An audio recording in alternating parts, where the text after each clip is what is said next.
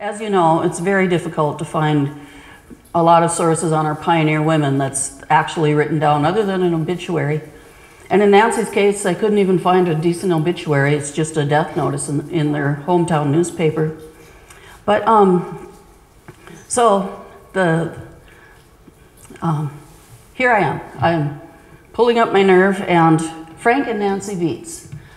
I had kind of been um, pondering an exhibit or something more for the museum to acknowledge Frank and Nancy Viets to, for their um, contribu contributions in our community. And so when I was reaching out, trying to think of something to ins inspire me for another newspaper article, I came back to, to them and I found a lot of fascinating things, a few um, articles on Frank, one done by the State Historical Society back in the 1920s, and this article was edited by G. Libby, so I figure it's reasonably um, trustworthy in its accuracy. Our founder of our UND History Department, G. Libby. Um, but there was quite a bit too in genealogy publications from Ohio. So Frank and Nancy Viets were natives of, of Ohio, the northwestern corner, not so far northwest as Cleveland, but Frank was from Ashtabula County, if you'll move us farther up ahead. This picture, this is a page from a promotional book called Grand Forks Illustrated, and this was published in 1897. I think Frank gets the prize for the greatest mustache Grand Forks has ever seen. um, a lot like Yosemite Sam in a way. Um, Colonel and Mrs. Frank Viets. You know, we had so many colonels in Grand Forks that weren't really colonels. If there were, you wonder how, how were they, how did we manage to have enough people in the infantry with so many colonels? We had Colonel Viets, there was Colonel Arnold who ran the newspaper in Larimore, um, Colonel Lounsberry who founded the newspaper in, in Bismarck, the Bismarck Tribune, and uh, Colonel Smith here in Grand Forks, who was the father of Cora Smith, our great suffragist of Grand Forks and member of the first graduating class of UND. Um, see, this is where the oral thing is better than the newspaper because I can just ramble on and I'm not chopping and keeping track of the word count. But this, this is the picture that um, usually seems to appear in any of the uh, pictorial histories of Grand Forks. Um, let's go ahead.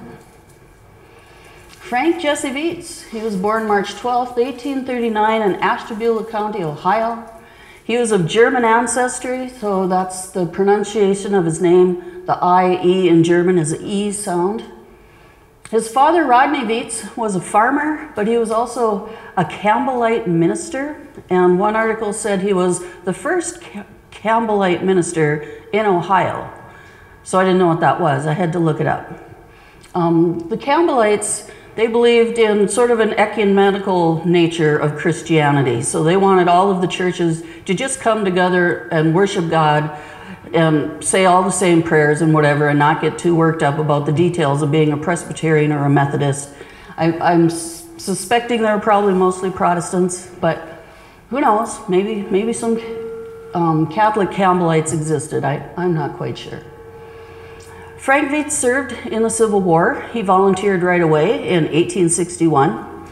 He had to get his father's permission at first. His father didn't want him going off to war, but the captain that he was serving under was known to his family. And so long as he was with this captain, then his father said it was okay. And this first enlistment term was just a matter of months because if you remember 1861, a lot of the um, soldiers that signed up thought it was going to be a short conflict, that it would be a matter of weeks and we'll take care of those Confederates and everybody will go home.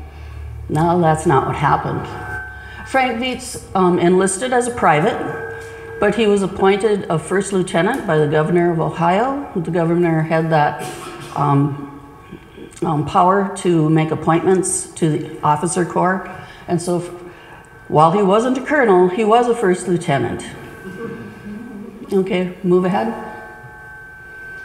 Nancy Viets was born in Madison County, Ohio. That's just a little bit east of, or west of where Frank came from. She married Frank Viets November 30th, 1864, after he left military service. So he- when he first went into the army, his um, company C was sent into West, what is now West Virginia, and the Confederates had torn up the railroad lines, and so his his um, company was mainly repairing the railroad damage that was done. Darn this thing. Okay, I'll just hold it here. And um, then from there, they went up to, um, he was under General Buell's command, and they were going towards um, Fort Donelson. But by the time they got there, Ulysses S. Grant had already won the battle and, and gone off, and he wasn't supposed to. He, he took Fort McHenry and just sent off a letter to his superiors. I'll, we're on our way to take Fort Donelson. Was a little harder than didn't didn't go down as quickly as Fort Han- McHenry, but it did. And so then Buell's command, including Frank Viets, continued off into Nashville. From Nashville, they were making their way to a place in 1863 called Pittsburg Landing. And if, if you're a, a fan of Ulysses S. Grant, as I am, I've read over 20 biographies, and that's because of the excellent um, um, documentary that was done by the American Experience about 20 years ago. I got chased into the house by mosquitoes and turned on the television, and here it's the American Experience. Oh, great, what's it on? Oh, it's Ulysses S. Grant. I'll find out if he really was a drunk. That's all I really remember from Mr. Ingstrom's history class in Red River about specifics about Ulysses S. Grant. But it was a fascinating um, documentary, and it led me on to this, this odyssey. So as I'm reading about Frank Viets and his service in the military during the war, he winds up, he's in General Buell's command, and Grant and other generals were frustrated with General Buell because he didn't speed up for anybody. And as his troops are coming down to Pittsburg Landing to join up with Grant's forces, General Halleck, who is in overall command, has ordered Grant, you will not move because he's still ticked off about the Fort Donelson thing. And so Grant is waiting, and Sherman's um, spies come in and they say that the Confederates are still pretty unorganized, so they're not ready to launch a battle just yet anyway. Well, they were wrong. And early in the morning of the first day of the Battle of Shiloh, the Confederates came in and they threw everything they had. And through the leadership of Grant and other commanders on the field, they managed to hold their ground, but it was a terrible day. Buell's forces, including Viets, are marching down, and they can hear the artillery in the distance, but they don't speed up. They, they arrive near the end of the day, and um, they're there for the cleanup in the morning. And what Viets witnessed by the time he got there, I'm sure it was horrific. Obviously, we have photographs and, and detailed descriptions from the survivors of the battles. But he was, he was there, so he was in some significant action in the Civil War. Shortly after this, he was injured on the field. He was thrown against the pom- pommel of his horse and had some sort of a rupture in his lower abdomen, and this caused him to have to uh, leave military service. And he went back to Ohio and he married Nancy Viets, and a year later had their, their one and only child, Gertrude Viets, who we have a street named after her, Gertrude, Gertrude Avenue in Grand Forks. Can we go forward? So after the Civil War, since he had worked, he went back to work on his fa- father's farm, and his father also had a grist mill, so he worked on that, which is important later on in, in his life. He understands the workings of, of the machinery for a mill. And he worked in railroad construction. He had that experience in the war when they were rebuilding the B&O Railroad. He worked in Ohio, and then he went west into Kansas and Colorado and wound up in the real Wild West. He left Nancy and Gertrude behind with, with family in Ohio, and the, the violence just shocked him. And it was really Dodge City and, and, and the gunfights and everything. So he decided this isn't where he wanted to have his family. He, he worried about his own safety. So he went back to Ohio. And at this time, then, he read about opportunities in the Red River Valley. He read about the construction commencing on the Northern Pacific Railroad, so he thought maybe it was something that he could do with that. And so he and his family boarded a, sh- a ship, a steamship, at Cleveland, Ohio, and made, their way through the Great Lakes to Duluth, Minnesota. Um, let's move ahead. Yeah, I like my cartographical skills here. I was worried about, since we're being recorded, that if I copy a map off the internet, somebody will see the video and then I'll get zapped for copyright infringement. So, anyways, they land in Duluth. And the Duluth and St. Paul Railroad was under construction at the time. And they arrived in time for an excursion on what was built up to St. Cloud at that point. So they were able to hitch a ride as far as St. Cloud. And then from St. Cloud, he purchased a wagon and a team of horses and with his family made their way up to McCauleyville, which is on the Minnesota side opposite of Abercrombie. And at that point, he, there's not a whole lot of settlers around, but he's speaking with everybody along the way to find out about um, land, the quality of the land, where there might be opportunities. And then he finds out that there, he, um, at Georgetown, Minnesota, there's opportunity there for him to work for the Hudson's Bay Fur Company. So that's where he and his family decide to settle. And this is 1870. This is a picture I found, I think it was taken in the 1950s, and this is the warehouse of the Hudson's Bay Company in Georgetown, Minnesota.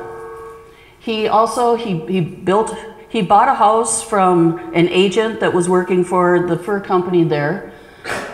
And then uh, J.S. Traill, Traill County is named after, after him. He met J.S. Traill and agreed to haul lumber from St. Cloud to Georgetown and was paid, I forget how much per load. But then he used some of that lumber to expand the house that he had built, and he and Nancy operated as a hotel that was capable of accommodating 12 people at a time. And there's, there was a farmer just north of Moorhead um, that he was, there was these speculators coming in. And I don't know if you've seen the movie um, Dakota, the John Wayne movie from 1940?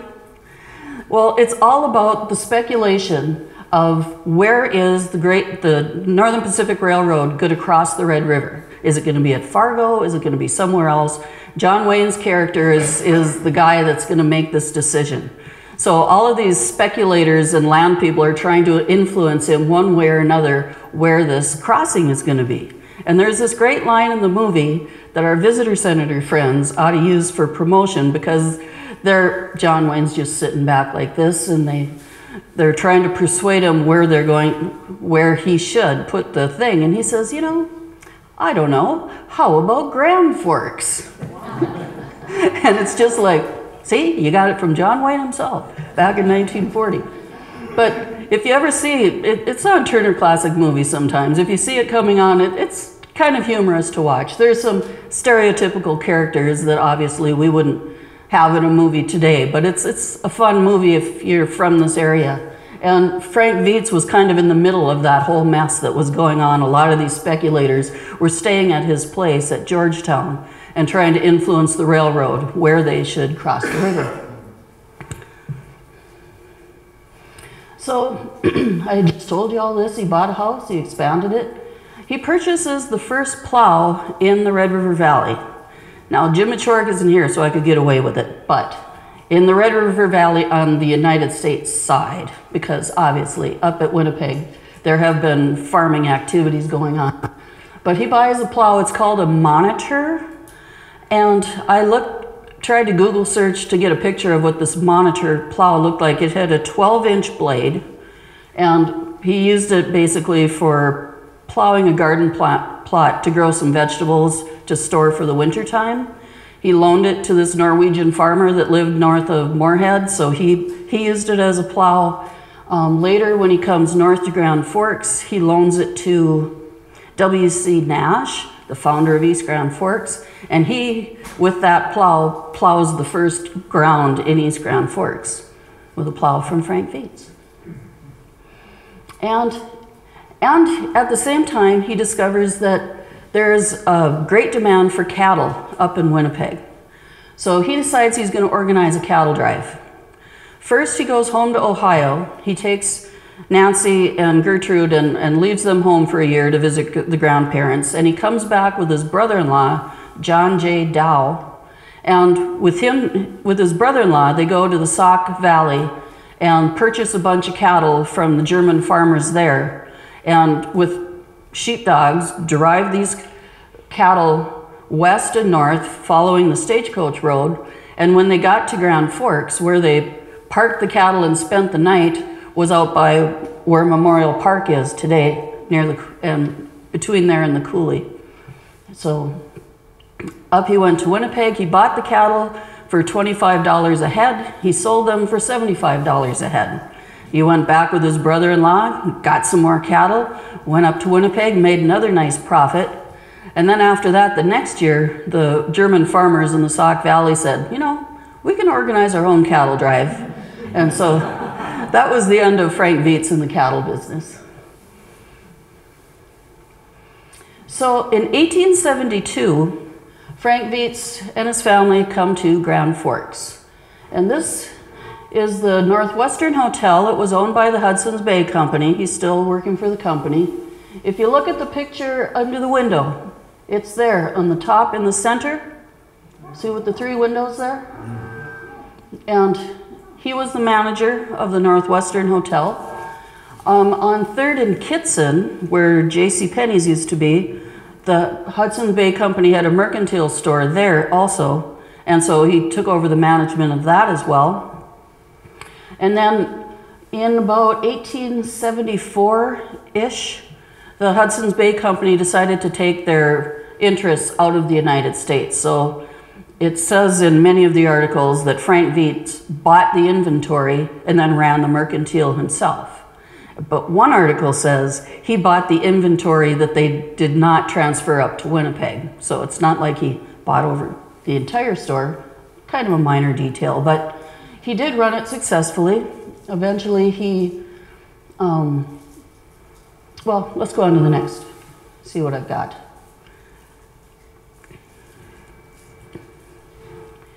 He's the manager of the Northwestern Hotel, and he, build, he builds the first grist mill in North Dakota, which also powers a lumber mill.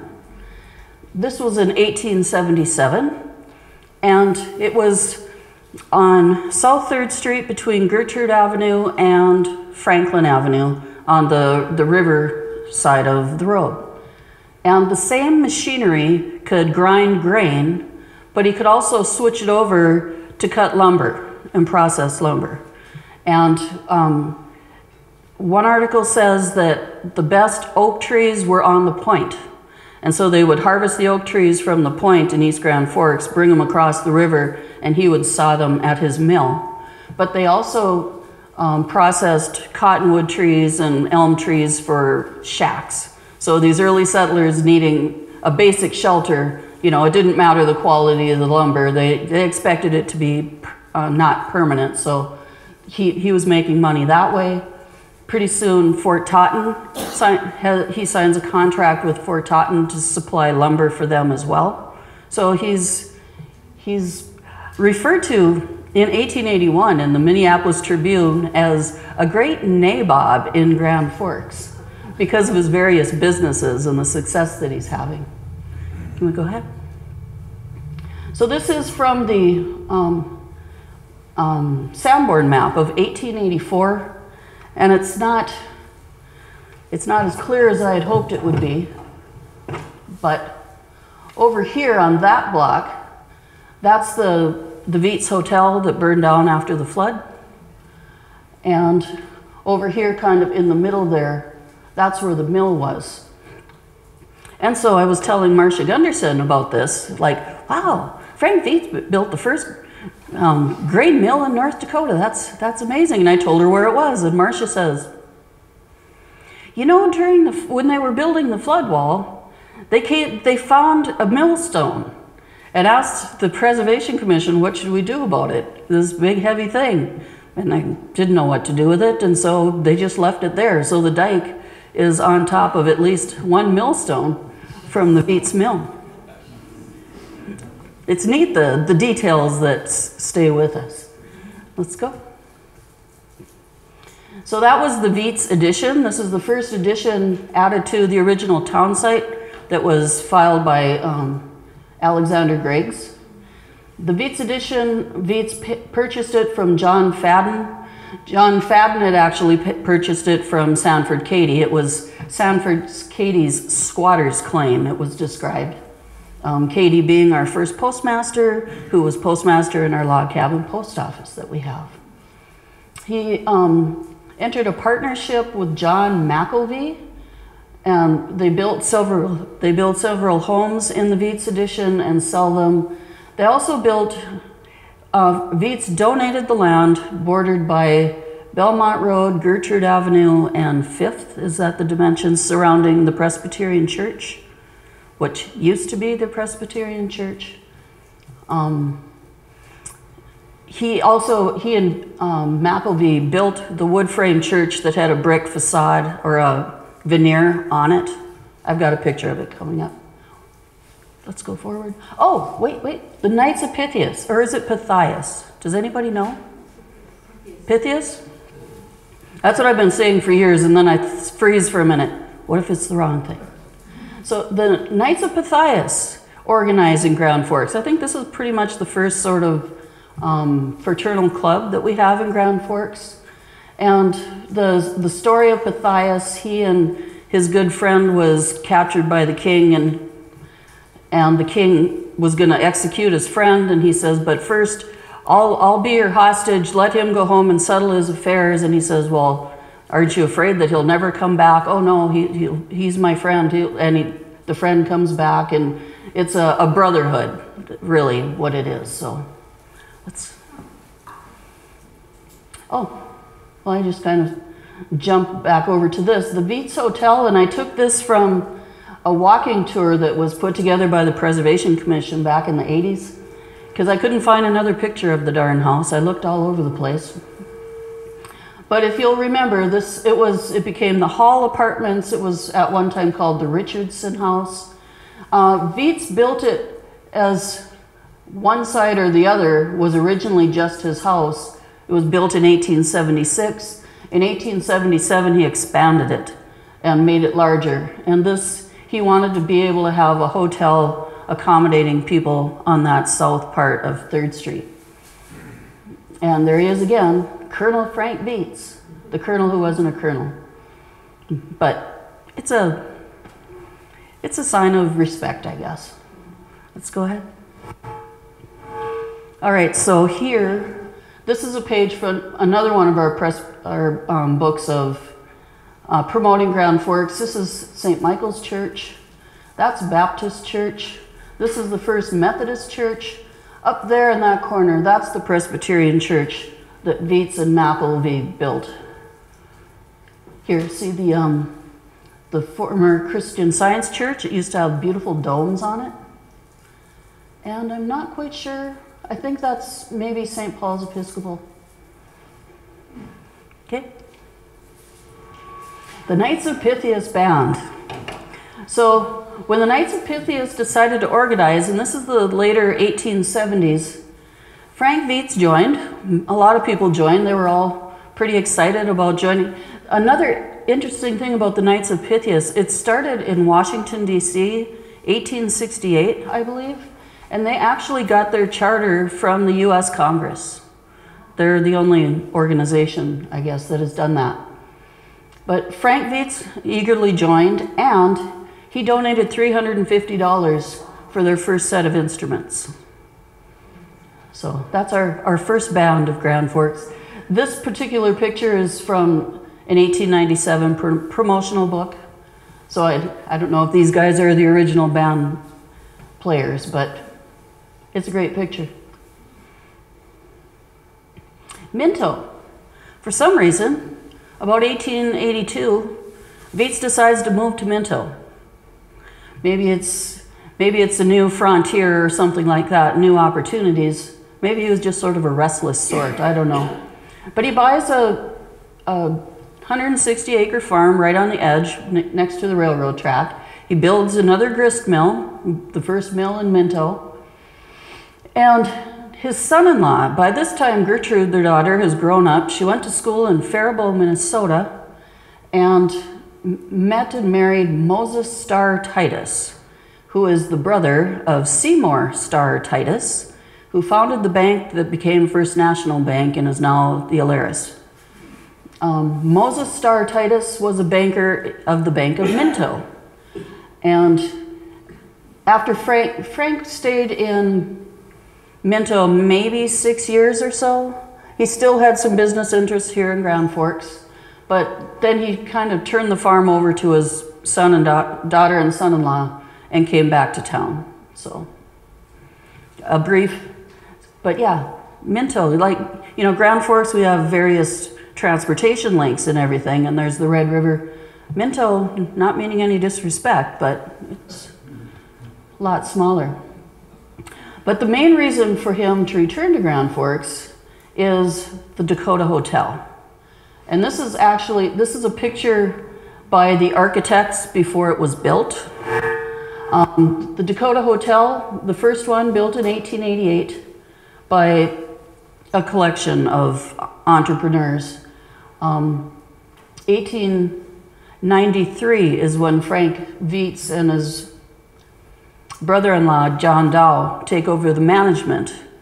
And about 1887, there's an article in the newspaper saying that they had replaced all the furnishings in the Dakota Hotel. So they're leasing the building and running the hotel, but Viets actually owns all of the furnishings. Viets and Dow, his brother-in-law. Oh, I'm kind of jumping ahead. This is his gravestone back in in Ohio. We can move on from that, but it's it gives his um, rank First Lieutenant Com uh, Battalion Company C.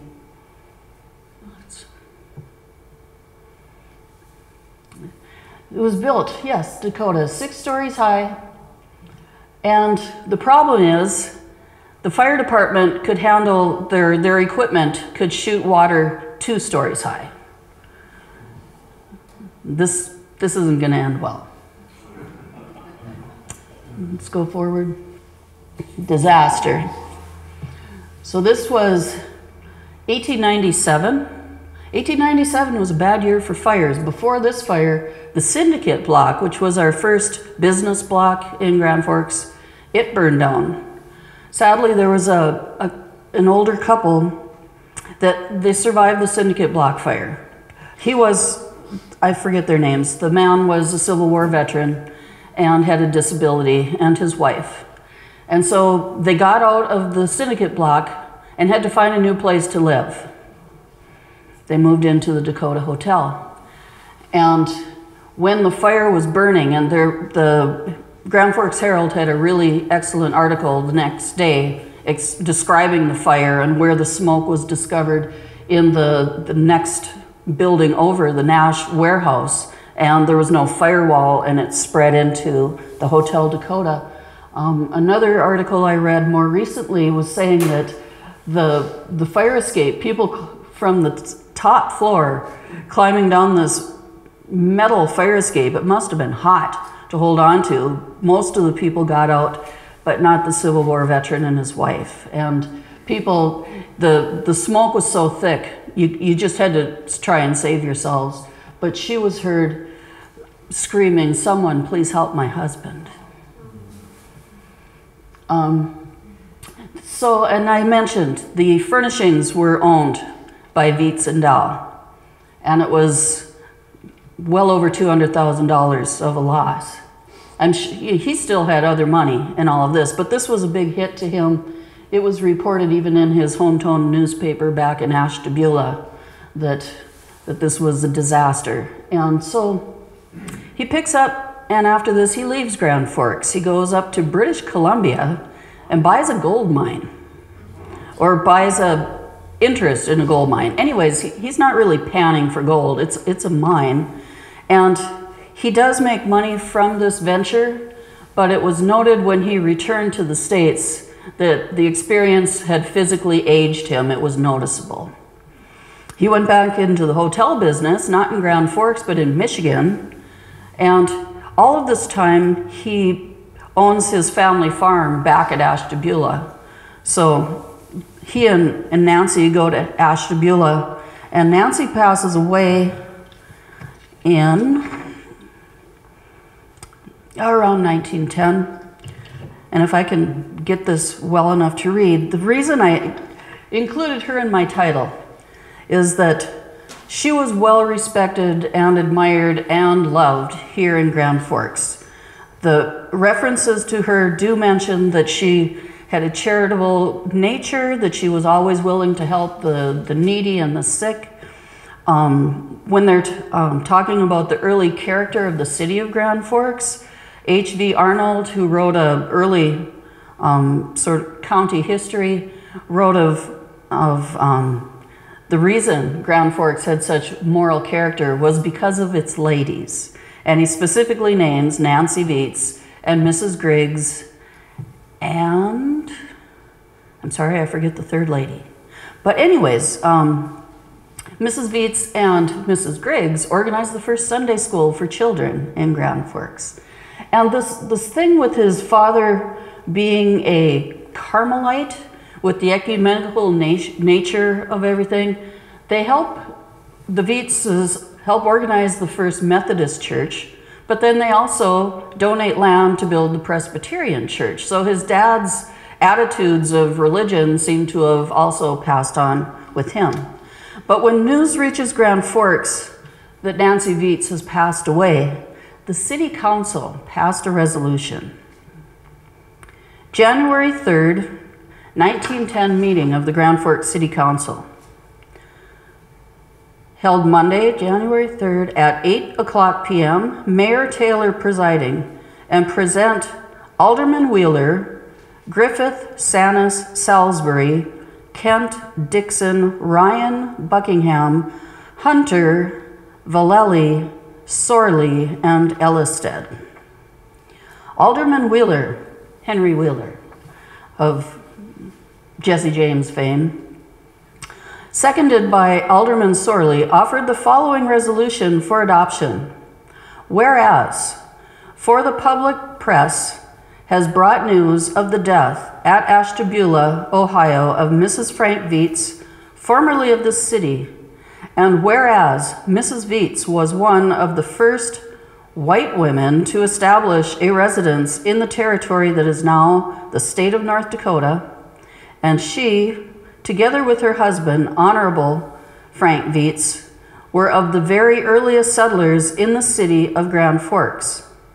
Having located here when the whole of the city was windswept prairie, and here maintained their residence for many years so that her social graces, warm hearted friendships, and her Christian charity were known and appreciated by the great and the small, the rich and the poor, the old and the young of our then young city, and are yet, notwithstanding their long absence from us, remembered in the grateful hearts of their old time friends. Now, therefore, they know how to make a res resolution. Now, therefore, we, the mayor and city council of the city of Grand Forks, North Dakota, in council assembled, do hereby express to the surviving husband, Honorable Frank Viets, and to her daughter, Mrs. Gertrude Titus, our deepest sympathy in the great loss that they have sustained. And we desire hereby to spread in a formal manner upon the official records of our city this resolution as a tribute to one whose gracious presence left a deep and permanent impact upon the home life of our city. J.D. Taylor, Mayor. Attest, W.H. Oh, that's, that's the end. J.D. Taylor, Mayor. So I don't know how many other times a housewife really has been noticed in, recognized in the city records as Mrs. Frank, Frank Viets was. But I think I'm, there might be one more slide, Marcia. Dakota Fire. Yep, already did that. So, um, does anybody have any questions? No?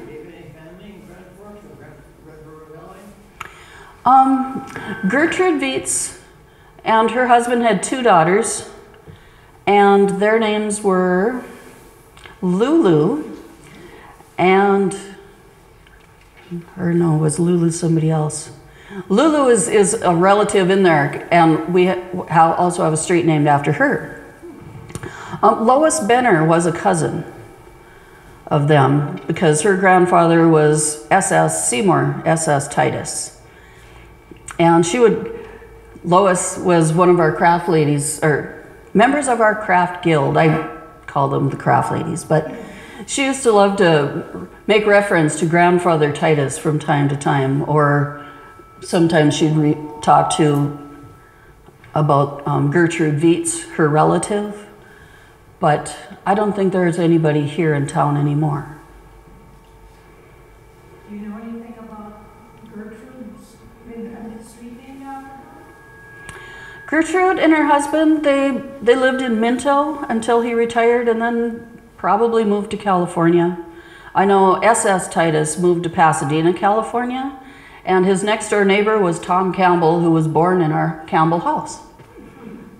And, and Lois Benner would also talk about that. When we would visit grandfather Titus, she would also, she would play with Tom Campbell's daughters next door, Elizabeth and, and the others, so there was a connection there. Yes? The uh, Alderman Sorley that you mentioned combination is the uh, is Arthur Sorley of the Sorley Bridge. Uh, I was wondering, do you know? Uh, of course, they don't call them aldermen anymore; they're councilmen. Do, do you know much about the city council back uh, then? I know uh, Sorley. He served four years in this city council. Uh, or, Chris, it wasn't called the council then, was it? No, they were aldermen. East Grand Forks, my grandfather was an alderman in East Grand Forks. I guess we're just more modern, maybe, with council. I don't know. So they're, they're, now they're only seven, but then there were part, what, they were ten or twelve? or- Well, let's see. The council of Monday, mayor presiding, prominent alderman Wheeler, Griffith, Sanis, Salisbury, Kent, Dixon, Ryan, Buckingham, Hunter, Valley. There's 12. Council, um, Alderman Hunter, he's the father of Alice Hunter, of sort of infamous fame. He was he was a banker. He had all sorts of farmland. He was involved in, in the brick making. I had mention of him when I did my article about the brick factory. Um, another thing, one of the articles referring to Frank Viets says that he recruited John Bartholomew to come to Grand Forks to start a brick factory.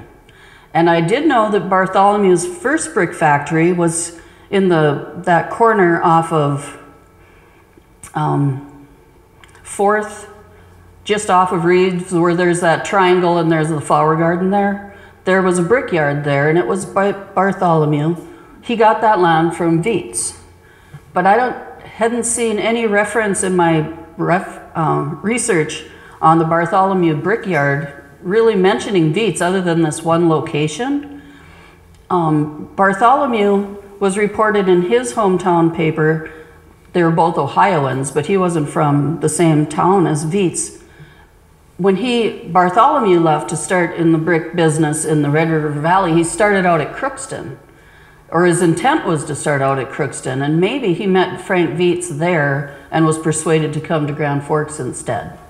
That's just a speculation, but I had wondered about it at the time. It says in the newspaper in April that he's going to Crookston, and then in May, it's reported that he has decided to stay in Grand Forks. So, and and then with my Brickyard article, the main point of it was just to kind of get people to stop and think about that depression that we drive through on Belmont Road. Now, when I drive to work, I go down Walnut more. I just got a habit of driving through the Brickyard. Uh, one lady sent me a, a comment on a Facebook page saying that her mother lived in the 1600 block of Chestnut, And when they were digging out the ground to plant flowers, they ran into all these bricks. Well, that's, that's why. But I digress. Yes? Did any of the bricks have a marking on them, like Grand Forks or a company name or anything like that? Uh, the Dinnie brothers, I have one I could show you in a little bit. Uh, JDBROS, John and James Dinnie. And their brick factory, that was the photograph that went with my Herald story, if you happen to see it. And it's, what I like about that photograph is it's from the Dinnie Brothers Brickyard was just east of the Ray Richards Golf Course. And so they're the picture of the brickyard, but in the background, the railroad tracks and Old Main. So you can see uni- the university in the back. That's those kind of pictures are cool because it kind of, you know, brings brings it together a context. Well, all right. Thank you for coming and putting up with me. Have another cup of coffee.